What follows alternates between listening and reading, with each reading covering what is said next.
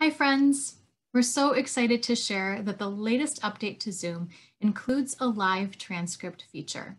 What this means is that starting on Sunday, December 6th, during our Sunday morning worship service, automatically generated closed captions will be available at the bottom of your screen.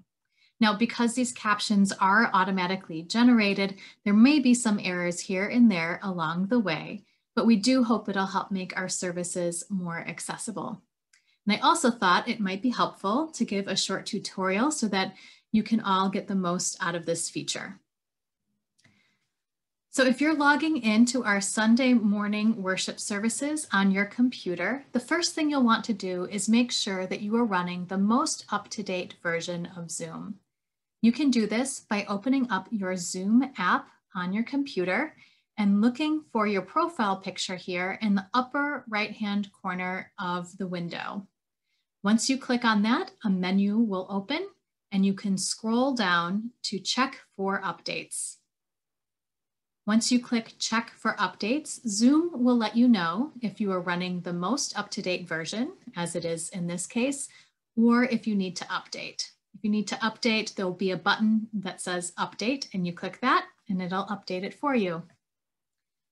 Once you are all up to date and successfully logged into our Sunday morning worship service, you'll notice that the closed captions automatically show up for you at the bottom of the screen.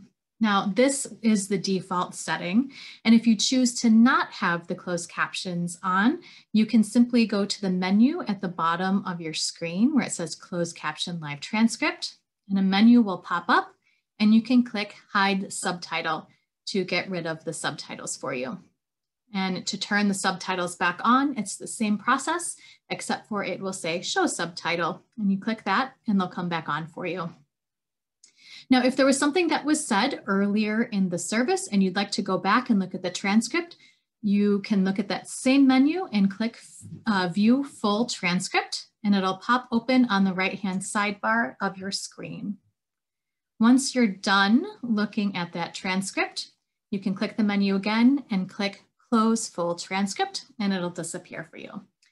Now, just a reminder that we do put a link to a PDF um, to the full script of our worship service on Sunday morning. And that script is put together by staff, so that will have an accurate, um, accurate script for the whole service. So if you do want to look at that rather than the um, automatically generated caption version, um, you can look for that link in the chat box on Sunday mornings.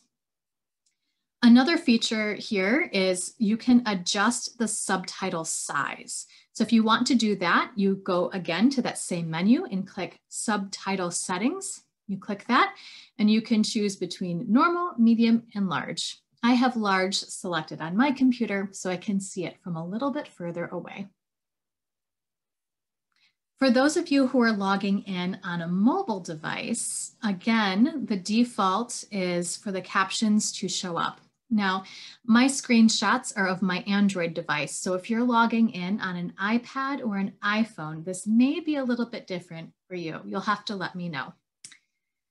Um, if you do want to turn off the uh, subtitles on your device, it's a little bit more complicated than on a computer, but you can find it um, on your Zoom app menu. So before you log in to a Zoom meeting. So what that looks like is this, when you open up your Zoom app, if you click down at the bottom where it says settings, um, that little gear right there, and then you can click meeting. And then you'll have to scroll down a little bit to find the closed captioning option. And you can toggle the switch here if you want the, it off or on during your meetings. I hope that this tutorial was helpful. As always, if you have more questions, please feel free to reach out. Looking forward to being together on Sunday. Stay well, friends.